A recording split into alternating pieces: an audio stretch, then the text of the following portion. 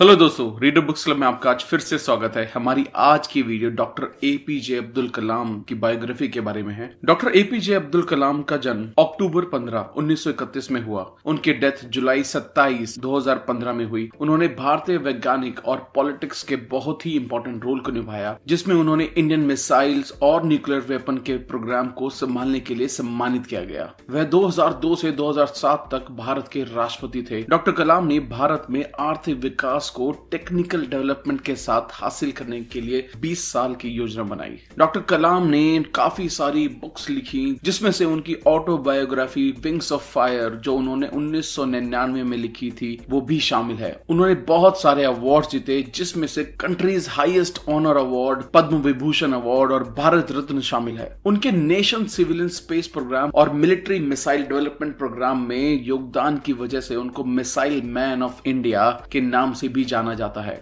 उन्होंने उन्नीस में पोखरण टू न्यूक्लियर टेस्ट में अहम योगदान दिया। सो so, दोस्तों डॉक्टर एपीजे अब्दुल कलाम की जीवनी के बारे में डिटेल्स में जानने के लिए ये वीडियो एंड तक देखें। प्लीज़ हमारे चैनल को सब्सक्राइब करें और फ्यूचर में आने वाले नोटिफिकेशन के लिए बेल आइकन को ज़रूर प्रेस करें। और हमारे फेसबुक और इंस्टाग्राम पेज को फॉलो करें जिसका लिंक डिस्क्रिप्शन में दिया गया है। So let's begin doctor APJ Abdul Kalam का जन्म 15 अक्टूबर 1931 को रामेश्वरम में एक तमिल मुस्लिम परिवार में हुआ, जो तब ब्रिटिश इंडिया में मद्रास प्रेसिडेंसी में और अब तमिलनाडु में है। उनके पिता का नाम जैनुलाबुद्दीन था, जो एक बोट ओनर थे और एक मस्जिद में इमाम भी थे। उनकी मदर का नाम आशियम्मा था, जो घर संभालती थी। डॉक्टर कलाम पाँच भाई बहन थे, जिसमें वो सबसे यंग थे। सबसे बड़ी बहन का नाम आसिम जोहरा था और तीन बड़े भाई थे, मोहम्मद मीरा, मुस्तफ़ा कलाम और कासिफ मोहम्मद। वो अपनी फैमिली के बहुत करीब थे, जिनकी उन्होंने हमेशा हेल्प की, इसलिए उन्होंने कभी शादी भी नहीं की। उनके परिवार के लोग बहुत अमीर व्यापारी थे, जिनकी बहुत सारी प्रॉपर्टीज़ थी। उनके परिवार को मारा कलाम और बाद में उन्हें मार केयर बोला गया। लेकिन 1920 के दशक में उनके परिवार के सदस्यों ने सब फॉर्चून खो दिया। उनके बिज़नेस फेल हो गए। जब तक कलाम पैदा हुए, उनके परिवार को दिक्कत आने लगी थी। परिवार की मदद करने के लिए कलाम ने यंग एज में ही न्यूज़पेपर बेचना शुरू कर दिया था। स्कूल के दिनों में कलाम के मार्क्स एवरेज थे, लेकिन कलाम को एक ब्राइट और हार्डवर्किंग स्टूडेंट मानते थे, जो बहुत सीखना चाहते थे। मैथमेटिक्स में उनका इंटरेस्ट बहुत ज़्यादा था। उन्होंने अपनी स्कूलिंग रामनाथापुरम से की। बाद में उन्होंने सेंट जोसेफ कॉलेज से फिजिक्स में ग्रेजुएशन की। 1955 में वो एरोस्पेस इंजीनियरिंग करने के लिए मद्रास गए। अपने थर्ड ईयर ऑफ़ ग्रेजुएशन में कुछ स्टूडेंट के साथ मिलकर उनको बेस लेवल के लड़ाकू एयरक्राफ्ट बनाने का प्रोजेक्ट मिला। उनके टीचर्स ने उन्हें बहुत कम वक्त दिया, जिसमें उसे खत्म करना मुश्किल था। कलाम ने बहुत प्रेशर में काम किया और वक्त पर काम भी पूरा किया। टीचर्स कलाम के डेडिकेशन से बहुत प्रभावित थे। इसलिए कलाम फाइटर पायलट बनना चाहते थे, पर उन्हें नौवीं पोजीशन मिली और सिर्फ़ आठ ही पोजीशन अवेलेबल थी।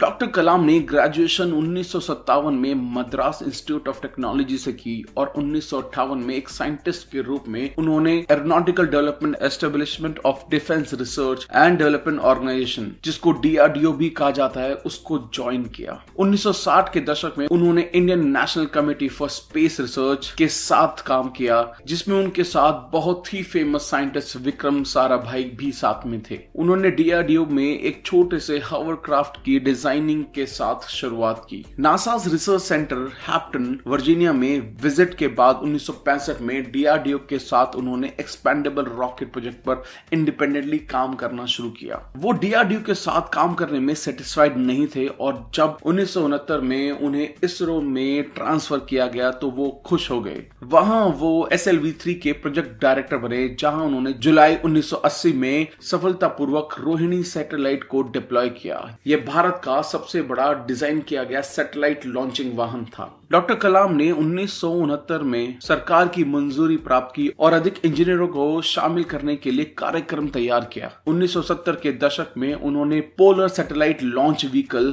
PSLV को डेवलप करना शुरू किया, जिससे भारत के पास अपना Indian remote sensing satellite orbit में भेजा। पी सितंबर उन्नीस सौ तिरानवे में अपने पहले अटेम्प्ट में ही सक्सेसफुल रहा। राजा रमन्ना ने डॉक्टर कलाम को देश के पहले न्यूक्लियर टेस्ट स्माइलिंग बुद्धा के लिए इनवाइट किया, जबकि उन्होंने उसके डेवलपमेंट में कोई योगदान नहीं दिया था। 1970 के दशक में अब्दुल कलाम ने दो प्रोजेक्ट को डायरेक्ट किया, जिनका नाम था प्रोजेक्ट डेविल और प्रोजेक्ट वेलेंट प्रोजेक्ट डेविल एक लिक्विड फ्यूल्ड मिसाइल थी, जिसका एम शॉर्ट रेंज की मिसाइल बनाना था, जो कि ज़मीन से आसमान में निशाना लगा सके। यह 1980 के दशक में सफल नहीं हुआ और इसको बंद कर दिया गया, और बाद में इसको पृथ्वी मिसाइल बनाया गया। दूसरी तरफ़ project valiant intercontinental ballistic missile बनाने लगे। यह प्रोजेक्ट भी सफल नहीं था। 1980 के दशक में इंडियन मिनिस्ट्री ऑफ़ डिफेंस ने डीआरडीओ के साथ पार्टनरशिप करके इंटीग्रेटेड गाइडेड मिसाइडल प्रोग्राम को लॉन्च किया। डॉक्टर कलाम को इस प्रोजेक्ट को लीड करने के लिए बोला गया और उन्नीस सौ तिरासी में वो डीआरडीओ में एज अ चीफ एग्जीक्यूटिव वापस आ गए।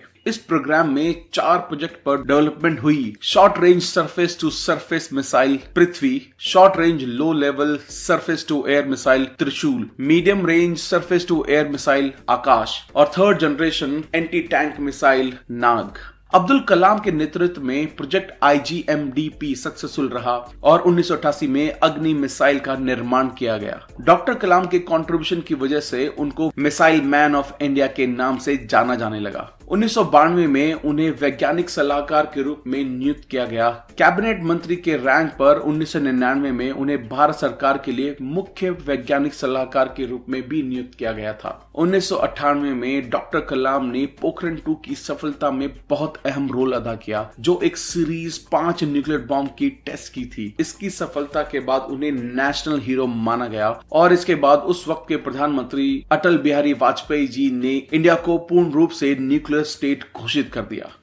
सिर्फ़ यह नहीं, उन्नीस सौ अठानवे में डॉक्टर कलाम ने भारत को 2020 तक एक विकसित राष्ट्र बनाने के लिए एक संभावित योजना बनाई और इसमें न्यूक्लियर एम्पावरमेंट, टेक्नोलॉजी में इनोवेशन और एग्रीकल्चर को कैसे बढ़ाया जाए, इस पर भी ध्यान दिया गया। 2002 में नेशनल डेमोग्राफिक अलायंस एनडीए राष्ट्रीय डेमोक्रेट गठबंधन को पावर मिली और डॉक्टर कलाम को भारत के राष्ट्रपति पद के लिए चुना गया। उनकी पॉपुलैरिटी की वजह से उन्हें ये पद आसानी से मिल गया। yeah. 10 जून 2002 को एनडीए सरकार ने डॉक्टर कलाम को विपक्ष के नेता सोनिया गांधी जी के सामने खड़ा किया गया। डॉक्टर कलाम ने 25 जुलाई 2002 से 25 जुलाई 2007 तक भारत के राष्ट्रपति के रूप में कार्यकार संभाला। वो सबसे पहले साइंटिस्ट और बैचलर थे जिनको राष्ट्रपति भवन में जगह मिली। उन्होंने कहा, एक लीडर का विजन होना बहुत ज़रूरी है अपनी ऑर्गेनाइजेशन के लिए, काम के लिए, पैशन होना, अपने गोल्स को अचीव करने के लिए।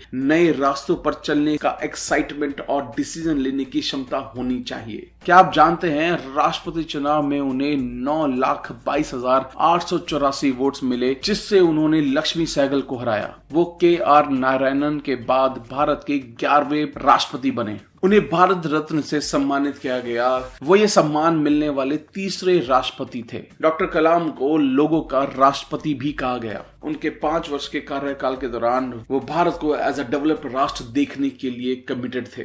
उन्होंने 2007 में आयोजित किए गए राष्ट्रपति चुनाव पर विचार नहीं किया और 25 जुलाई 2007 को इस पद को छोड़ दिया। कार्यकाल से बाहर रहने के बाद डॉक्टर कलाम को अकेडमिक फ़ील्ड में चुना गया और वो Indian institute of management Shillong Indian institute of management Ahmedabad Indian institute of management Indore Indian institute of science Bangalore में विजिटिंग प्रोफेसर बन गए। उन्हें Indian institute of space science और टेक्नोलॉजी त्रिवनतपुरम में चांसलर चुना गया। Aerospace engineering at Anna university में professor बने और बहुत सारे और अकेडमिक और रिसर्च इंस्टीट्यूशन में कॉन्ट्रीब्यूशन किया। उन्होंने international institute of information technology Hyderabad में इंफॉर्मेशन टेक्नोलॉजी को पढ़ाया और बनारस हिंदू यूनिवर्सिटी और अन्ना यूनिवर्सिटी में टेक्नोलॉजी बेस्ड लेक्चर भी लिए। डॉक्टर कलाम ने what can I give movement भी लॉन्च किया, जिसका मकसद करप्शन को खत्म करना था। 27 जुलाई 2015 को आई एम शिलोंग में जब डॉक्टर कलाम एक लेक्चर ले रहे थे, उनको हार्ट अटैक आया और उनकी कंडीशन क्रिटिकल हो गई। बाद में उन्हें बिठानी हॉस्पिटल शिफ्ट कर दिया गया, जहाँ उनकी डेथ कार्डियक अरेस्ट की वजह से हुई। उनके लास्ट वर्ड सृजन पाल सिंह को थे, वो थे funny guy are you doing well late doctor Kalam की याद में रामेश्वर के आइसलैंड टाउन में उनकी याद में doctor APJ Abdul Kalam Kalam memorial का निर्माण हुआ। 27 जुलाई 2017 को भारत के प्रधानमंत्री ने